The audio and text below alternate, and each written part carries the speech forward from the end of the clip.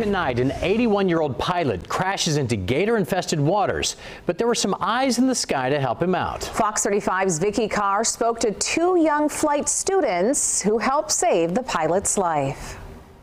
A trip to Palatka to practice landing turned into an eventful day for these two Embry-Riddle students.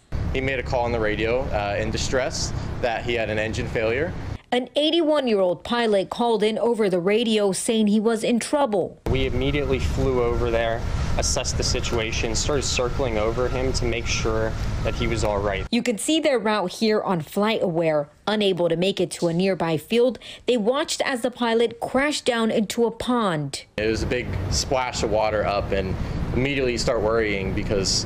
Um, you know, planes aren't meant to float, they're meant to fly. And a Florida twist made things worse there was an alligator next to his plane.